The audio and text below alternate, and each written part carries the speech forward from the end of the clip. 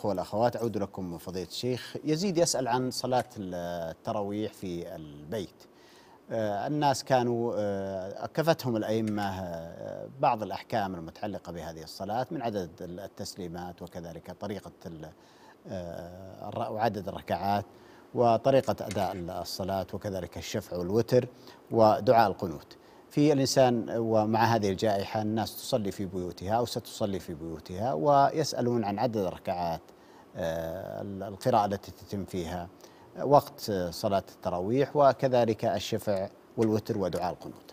أما صلاة التراويح فإن إذا كان الإنسان يصلون جماعة تراويح فإن الأفضل أن يكون ذلك في أول الليل يعني بعد صلاة التراويح لما سئل الإمام أحمد رحمه بعد صلاة العشاء. نعم. فلما سئل الإمام أحمد قال له أرأيت الرجل يؤخر صلاة التراويح إلى آخر الليل؟ قال سنة المسلمين أحب إلي. سنة المسلمين أحب إلي. وهذا يدل على أن ذلك أسلم وأبعد للمشقة الناس إذا أرادوا أن يصلوا صلاة التراويح. هذه الحالة الأولى. الحالة الثانية وهي مسألة أيهما أفضل في العدد. ينبغي أن نعلم أن أفضل, أن أفضل هو فعل النبي صلى الله عليه وسلم وسنته. تقول عائشة رضي الله عنها لما سئلت عن عدد ركعات النبي صلى الله عليه وسلم كما في الصحيحين قالت لم يكن رسول الله صلى الله عليه وسلم يزيد على رمضان ولا, ولا على غيره على إحدى عشرة ركعة. يصلي أربعا فلا تسل عن حسنهن وطولهن. ثم يصلي أربعا فلا تسأل عن حسنهن وطولهن. ثم يصلي ثلاث.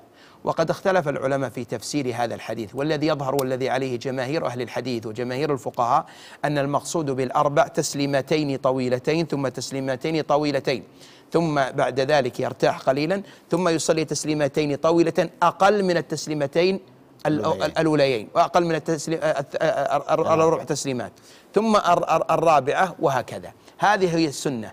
وأما لو صلى أربع ركعات في تشهد واحد فهذا هو خلاف السنة. لقول النبي صلى الله عليه وسلم صلاة الليل مثنى مثنى.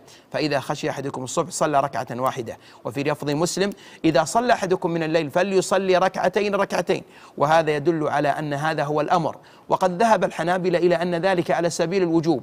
والذي يظهر وهو الرواية الأخرى عند الإمام أحمد كما نقلها الأثرم أن ذلك يدل على الاستحباب الأكيد بدليل أن النبي صلى الله عليه وسلم لم يصلها بدليل أنه في صحيح مسلم صلى تسع ركعات لم يجلس إلا في الثامنة ثم قام فجلس في التاسعة فدل ذلك أنه لم يصلي مثنى مثنى فدل ذلك على أن هذه السنة الأكيدة والله أعلم نعم. ثم يقال ما العدد نقول الأصل أنه إذا جمع الإنسان بين طول القيام والعدد فهذا أفضل مثل فعل النبي صلى الله عليه وسلم لقول النبي صلى الله عليه وسلم كما في الصحيح حديث جابر لما سئل أي الصلاة أفضل؟